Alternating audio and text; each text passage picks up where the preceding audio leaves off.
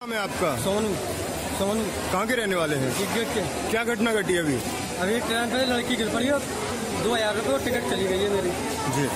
बच्चा कैसे गिरा ट्रेन से? एकदम बाहर निकल के आए ना तो हाथ बजे एक लड़के ने धक्का मारा तो लड़की गिर पड़ी।